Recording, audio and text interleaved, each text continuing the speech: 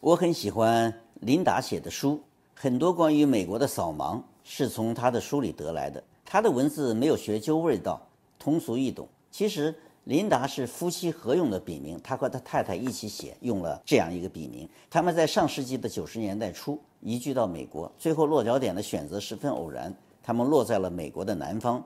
那是在现代机械化大农业挤兑之下的传统农村。那时候，他们开始和美国的普通人建立友谊，开始了解这个不寻常的国家。他们看到的美国很多是难以想象的。他们也经历了一个对美国扫盲的过程。有美国学者跟我讲，要真正了解美国，要到美国中部去，光留在这几个大城市不行的。中美两国的政治制度不同，所以很多中国人并不了解美国的机制和美国的制度。经常的想当然的用中国的传统的思维来套美国，比如说美国总统，很多中国人认为总统权力大的不得了，把他和中国的皇帝画了等号，在他们眼里，美国总统一言九鼎，说话算数。其实并不完全是这样，美国总统只是美国立法、司法和行政这三个分支中行政这一分支的主管。按照琳达的说法，是美国联邦政府大行政办公室的主任，是一个大管家一类的人物。只是由于总统这个角色是政府日常事务的执行主管，被常常推到前面去代表这个国家表示各种意见。但是这个国家并不是他说了算。当然，为了方便他主持的行政工作，他也有一些权利。但是这样的权利也会让三支中的另外两支有不安。与总统相比，属于美国的立法分支的国会似乎更有美国主人的味道。国会议员都是从各个州里面。直接选出来的民意代表，他们管立法，也就是说，大原则是他定，只不过让总统这个办公室主任领着那套行政班子去执行。他们干的国会不满意了，议会议员们就不给总统好脸色。这种情况下，常常由国会通过一个什么决议，表达他们对总统或者对总统的某个做法的愤怒。这时候，总统和国会完全南辕北辙，而总统拿国会一点办法也没有。另外，美国政府还有一个分支，这就是法院。琳达认为，法院好像是婆婆，平时很少抛头露面，但是我们国家的婆婆经常抛头露面啊。但是，一旦出现了什么争执不休的立法问题，他们会出来给一个说法。一旦他们出来宣布某项立法违宪，那才是一言九鼎。美国的三个分支其实还有着更加严密的相互制约的机制，以避免单纯的一层高于一层的简单架构。对于美国人来说，高高在上的权力总是非常危险的。正是为了避免在某一分支上爬上权力的顶端，所以美国政府的三个分支是相对独立的，互相之间始终存在着作用和反作用。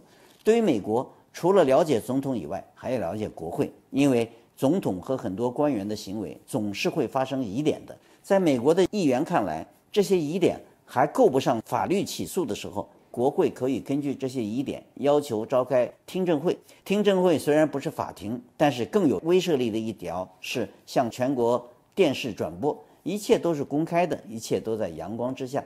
谁能经得起这样的暴晒？全国人民的众目睽睽之下，一下子把全部的事实都摊开，全国人民的愤怒就会把白宫淹没。所以，总统和政府的行政官员与普通老百姓相比，受到的监督更多一点。也就是多了国会这一层，比如说中国人民的老朋友尼克松总统，他是破中美坚冰的总统，他的水门事件当时沸沸扬扬，尼克松就主动提出他不要国会听证这个阶段，而直接进入司法程序。虽然听起来司法程序比国会听证要严重一些，但是司法程序的好处就是不用国会听证的电视转播了，而且是召开大陪审团举行听证会。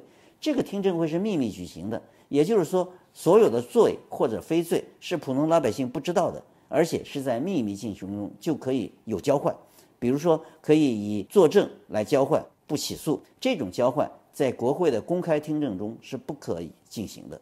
琳达写这本书的时候，正好是克林顿总统掌权。克林顿在美国历史上是一个可以从多种角度来评价的总统。一方面，在他的治下，美国经济发展的很好。另外一方面，他是不太注意小节的人，犯过很多错误。比如说大家都知道的莱文斯基这个错误就是其中一个。除了这个事情以外，他还有很多个门就是类似水门一样的门，比如说有旅行门，只不过没有发展的这么严重。我不知道美国人民为什么对克林顿是那么宽容，也许是因为他形象好，也许是因为他把经济搞得不错。比如说有一个旅行门，就是美国总统出行的时候，他和随行人员的各种旅行安排，很多事情是交给一些商业公司。这一点和中国完全不一样，商业公司就要盈利，所以琳达说，美国政府机构的浪费问题远比贪污腐化要严重得多。这就是说，他们很少贪污腐化，但是有很多浪费。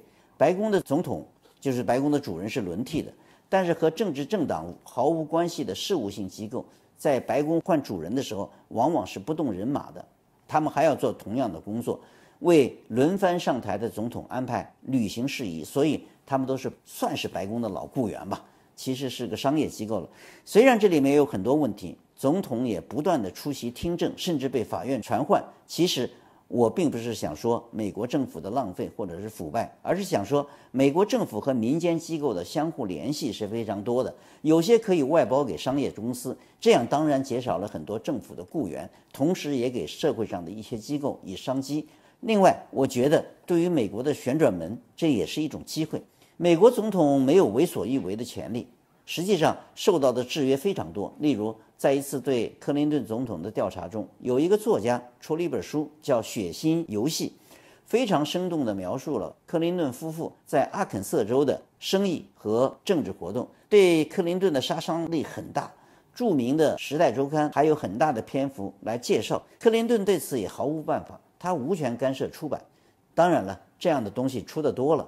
读者也会有自己的看法，并不是完全是看到的就全盘相信，不是见书就信的事情。在克林顿的四年总统任期内，以内幕为名出版的书就有好几本。总统管不了这样的书出版，怎么办呢？他可以自己写，相当于当事人做澄清或者是辟谣。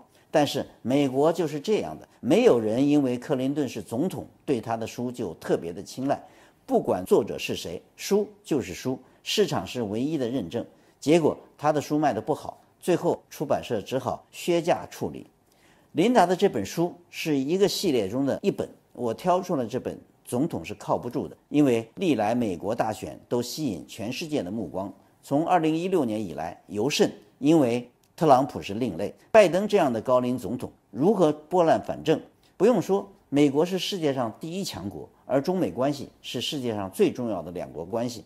美国谁当总统都会对中美关系造成影响。当然，了解美国就要了解美国的政治制度，也要懂得美国总统是靠不住的。而这种靠不住或者是靠得住都是相对的，有很多因素的制约。但是，我想美国总统也并不是说像这本书里讲的权力这么小，还要看总统本人的作为。下一次大选，民主党和共和党如何血拼？新总统会在特朗普、拜登这两位老人中进行吗？会加入桑德斯这样的年轻人吗？当然，关心美国的总统大选也是关心中国，因为美国是世界上最强大的国家，中美关系也会影响国际形势的发展，会影响中国的发展，所以我们确实要懂得美国总统是到底靠得住，靠不住。